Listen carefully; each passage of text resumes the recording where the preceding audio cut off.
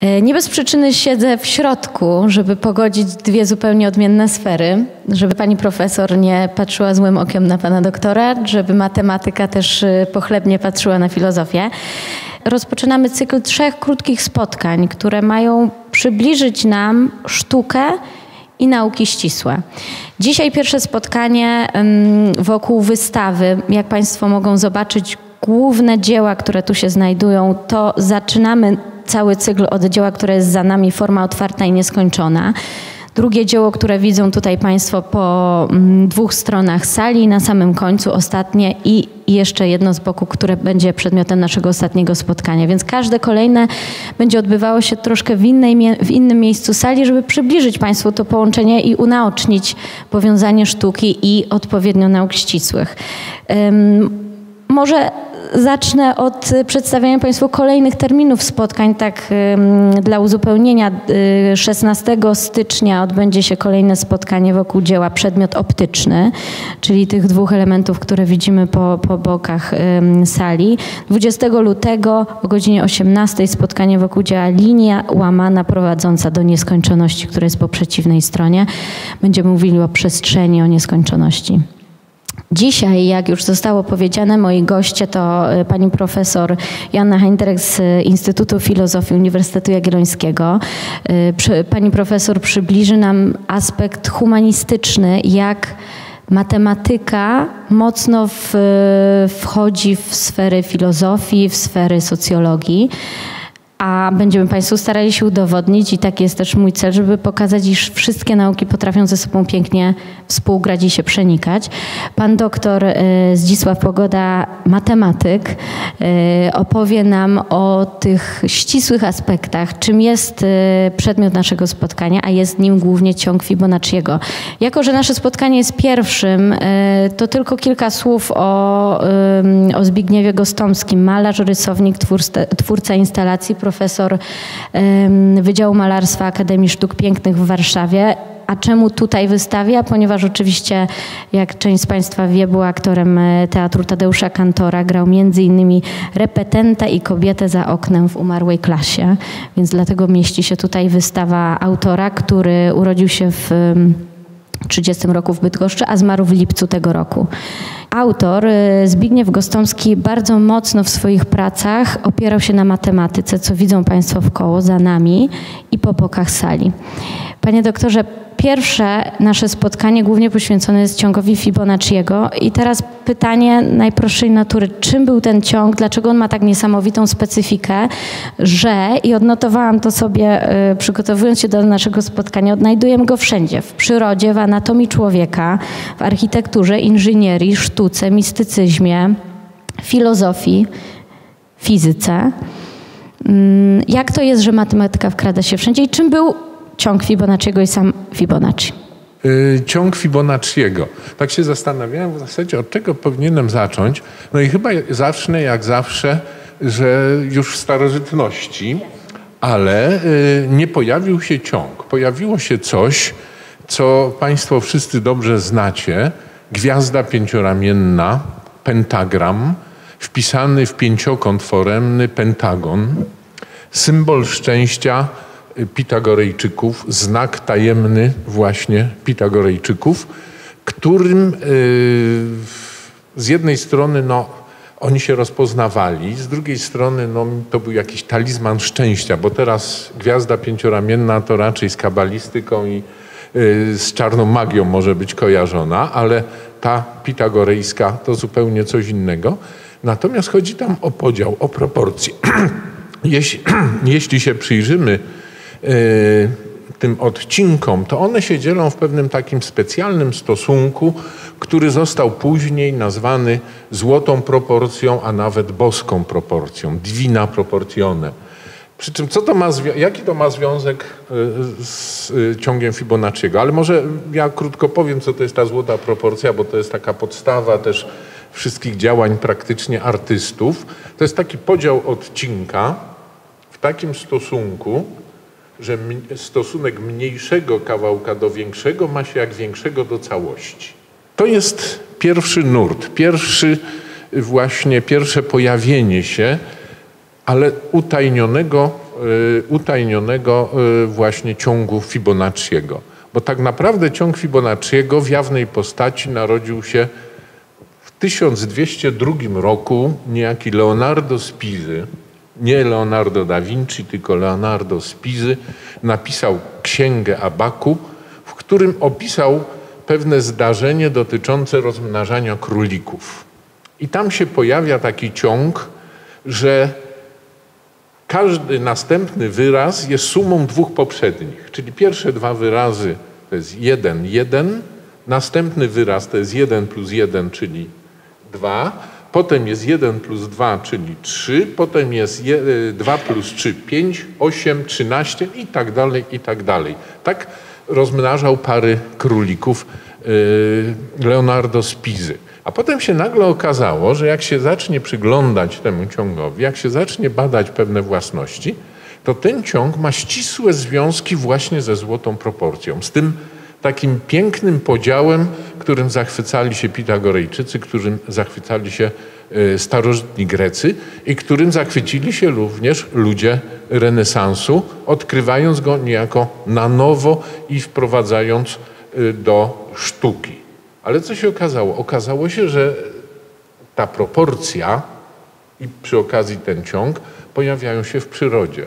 Okazało się, że własności tego ciągu są takie, że y, w roślinach, jak wzrasta roślina, jak obserwujemy y, piękny słonecznik z jego ziarenkami umieszczonymi w odpowiedni sposób. Tam się pojawia pewna spirala, która też nazywana jest właśnie złotą spiralą, bo związana jest y, z ciągiem y, Fibonacciego. Praktycznie wszystkie zdarzenia w przyrodzie jakiś związek ze złotą proporcją mają i przy okazji z ciągiem Fibonacciego. Ja już nie mówię o rozmnażaniu populacji, prawda, ale również jeśli popatrzymy na huragany, jeśli popatrzymy na galaktyki, one mają taką spiralną konstrukcję i ta spirala ma ścisły związek y, z liczbami Fibonacciego i ściągiem Fibonacciego. Czyli jeżeli matematycy doszukują się tego samego schematu w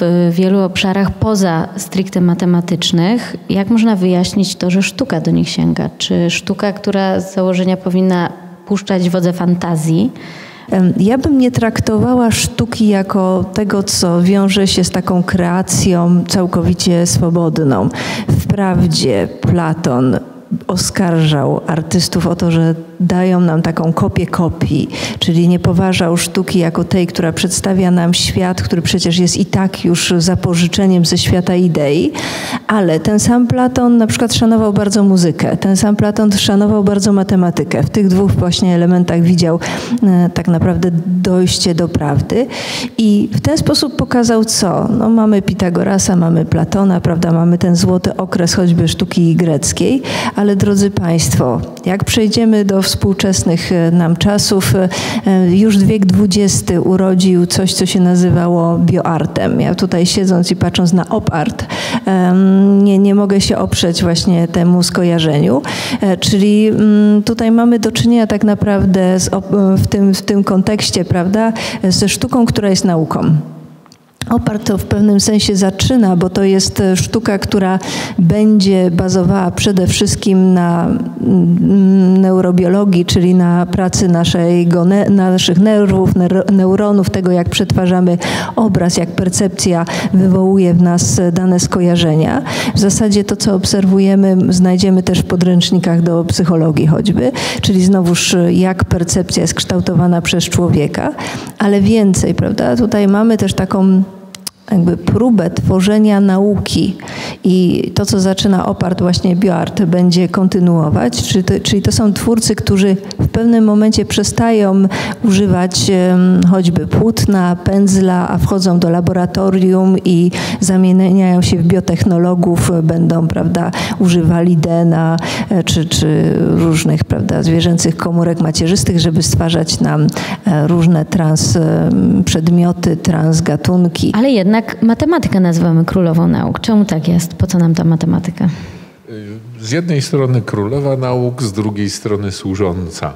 prawda? bo służy wszystkim innym naukom i daje narzędzia do badania rzeczywistości. Natomiast no, matematyka kojarzy się z czym? Z liczbami. A jak Pitagorejczycy powiedzieli, liczby rządzą światem. Arytmos, arche, panton są u podstaw wszystkiego. Można się z tym zgadzać lub nie, ale no, dla Pitagorejczyków to było ważne. Proporcje, wymierne liczby i muzyka, która podporządkowywała się tym liczbom, bo proszę Państwa, muzyka była dla Pitagorejczyków częścią matematyki. Matematyka składała się z czterech dziedzin. Arytmetyka, geometria, astronomia i muzyka. Prawda? Tak jak te artes liberales quadrivium. Natomiast no, jesteśmy uzależnieni od liczb. Prawda? Nie wyobrażamy sobie życia bez liczb. I tu nawet nie chodzi o jakąś abstrakcyjną matematykę. PESEL, PINy, y, różne daty, wymiary, prawda? różne mm, inne informacje podawane za pomocą liczb. To czemu matematycy nie dostają Nagrody Nobla? Proszę? A to już jest zupełnie inna sprawa i zupełnie inna historia. Tutaj to by można długo o tym opowiadać, bo y, Nobel był pragmatykiem. On przyznawał Nagrodę Nobla za osiągnięcia konkretne, a matematykę uważał właśnie za filozofię i jako samą, jako samą prawda, no, y, nie widział w niej takiego prostego przełożenia na zastosowania. Einstein nie dostał Nagrody Nobla za teorię względności. On dostał za rozpracowanie efektu fotoelektrycznego. Te fotokomórki dzisiaj, to wszystkie, właśnie to wytłumaczył i za to dostał Nagrodę Nobla, za konkretną, a nie za jakąś tam teorię opisującą wszechświat, prawda? To jest filozofia dla, dla Nobla. Powoli kończąc, panie doktorze, jak, jak wiele jeszcze matematyka ciągnie i wyciąga ze sztuki i sztuka z matematyki? Jak jeszcze możemy połączyć temat matematyki ze sztuką? Starając się państwa cały czas przekonać do tego, od czego zaczęliśmy kontrowersyjnie, że, że to wszystko jest ze sobą połączone. To są naczynia, które czerpią same z siebie i jesteśmy w idealnym miejscu, żeby to powiązać. Jak jeszcze? Pojawiło się e, też takie określenie chaos ale matematyka również zajęła się chaosem. I okazało się coś niezwykłego, chaos deterministyczny, zdeterminowany, że to, co wydaje nam się zupełnie chaotyczne, chmury, korony drzew, fale morskie, dym, no takie zjawiska nieuchwytne, niepasujące do tego kanonu platońskiego figur geometrycznych, kwadratów, kół, trójkątów, matematycy również y, tymi rzeczami się ostatnio, ostatnio to już y, ponad pół wieku prawie się tym zajmują i to też pojawia się w sztuce. Ten chaos mimo wszystko jakąś tam, jakieś elementy matematyki w sobie zawiera. Co więcej, nam się wydaje, że jeśli zjawisko jest chaotyczne, to nie da się porządnie opisać. Okazuje się, że takie chaotyczne zjawiska matematycznie opisują się nadzwyczaj prosto, nadzwyczaj prostymi wzorami, a dostajemy nieskończoną ilość obiektów zadziwiająco chaotycznych, a z drugiej strony bardzo ładnych, Starając się zakończyć na ciągu Fibonacciego, bo, bo to jest celem naszego spotkania, przygotowując się do niego i czytając o, o specyfice ciągu Fibonacciego, znajdowałam cały czas określenia diaboliczne, mistyczne. E, epatowano tą, tą, tą stroną w, w przeróżnych tekstach. Dlaczego tak jest? Czy my dopatrujemy się z jednej strony jakiegoś elementu boskiego, z drugiej strony diabolicznego w, w ciągu Fibonacciego. Czemu szukamy takich relacji? To znaczy jest jedno i drugie. Tak patrząc całkiem historycznie, no to cała symbolika liczby, zaczynając od starożytności, właśnie od wspomnianego Pitagorejczyka, przez e, symbolikę średniowiecza, ona będzie tym grała. Czyli przy, przyjęcie choćby właśnie tej symboliki od 1 do 10 jako takiej liczby tworzących świat, wiodących, prawda, i będących e, zasadami rzeczywistości. Ale wydaje mi się, że wracamy trochę do takiego aspektu nie nie tylko poszukiwania sensu, ale wręcz wywoływania sensu, czyli tego, że człowiek potrzebuje w jakiś sposób usensownić sobie życie, że człowiek potrzebuje w jakiś sposób nadać e, temu, co nas otacza, konkretną formę, więc, więc się sięga albo do symboli, albo do liczby, albo prawda, to się ze sobą łączy.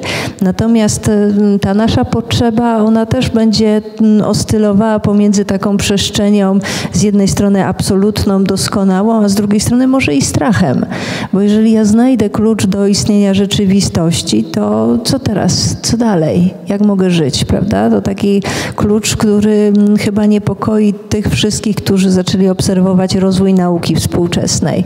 No już pojawienie się możliwości klonowania, prawda? Odczytanie ludzkiego DNA, e, gdy w ogóle ten projekt, e, prawda, ruszył, no to bardzo wielu myślicieli zaczęło się zastanawiać, co się stanie, jeżeli nam się uda do końca odczytać ludzkie DNA. Co się stanie, jeżeli będziemy w stanie klonować albo stworzymy sztuczną inteligencję, tak rozwinie się biotechnologia, że będziemy mogli stworzyć transhumana. To są wszystko pytania, które jakby pokazują, że im więcej wiem, im bliżej jestem tego klucza rzeczywistości, tym bardziej jestem odpowiedzialnym graczem rzeczywistości, tym bardziej mogę zmienić tą, czy modyfikować tą rzeczywistość, ale tym bardziej biorę odpowiedzialność za siebie i za świat, więc my czasami tęsknimy za czymś, co jest absolutne, powiedziałabym wręcz, prawda, niebiańskie, ale może się okazać demoniczne. W poszukiwaniu reguł i wzorców w sztuce i nauce zapraszam Państwa na kolejne spotkanie, które będzie, zaglądam na kartkę, 16 stycznia o godzinie 18. Tym razem